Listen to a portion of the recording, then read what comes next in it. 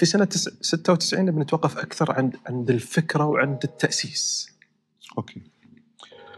أول شيء آه، الفكرة هذه كانت موجودة عند الشيخ حمد. قلت لك لأنه يحس إنه اولا في العالم العربي في احتياج لرأي آخر يطلع مش ملزم برأي الحكومة. الشيء الثاني الإعلام اللي صار على قطر بطريقة سلبية كان يحتاج انه يكون عندك رادع للأمانة. آه، فجات فكرة قناة الجزيرة عند الشيخ حمد. هو صاحب الفكرة. هو صاحب الفكرة. وقال لي في يوم واحد آه، آه، أنا بسوي قناة وبفتحها في ست شهور نفتتحها في ست شهور. قناة فضائية بست شهور. أولا ما عندي خبرة أصبر خليني أسأل كم تحتاج. فرحت سألت يمين يسار قالوا لي إذا أنتم بتشدون حيلكم سنة لين تجيبون المعدات مع... تجهزون تجيبون مذيعين تجيبون كذا تجيبون كذا. هذه قبل البي بي سي. ما تس... العربي ما تسكر. ما تسكر. ف جيت قلت له نحتاج سنة قال لا ست شهور. هذا ثانية، إحنا في 96 ولا 95 96 قبل قبل لا تنشأ القناة بست شهور سبع شهور. قال لي شوف الميزانية المطلوبة وخبرني. رحنا درسنا يمين شمال كذا ذاك الوقت. أتذكر؟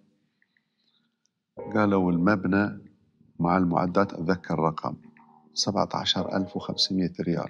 مليون. اسف مليون. 17 مليون. طيب. 500 ألف ريال. قال لي يلا آه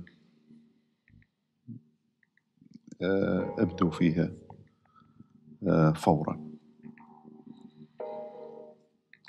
فسوينا المخططات خلينا واحد يبتدي من اللي كان. يساعدك شيخ حمد و ال team اللي كان كان في؟ team كان في team محمد علي اللي كان هو أول واحد آه، وبعدين كان في السهلاوي من الخارجية وبعدين جاء حمد بن ثامر آه، في هذاك الوقت انضم كان آه، إلى إلى المجموعة اللي team, كانت team تشتغل. قطري كان فكان team قطري وكان ويانا واحد أبي أذكر اسمه كان أصلا في قطر وراح البي بي سي وطلع من البي بي سي قبل الله يرحمه توفى. آه، حاذكر اسمه محمود شيء. فكان هو من ناحية فنية آه، يساعدنا في الموضوع. وإحنا نمشي في هالموضوع وندور مذيعين. وقفت.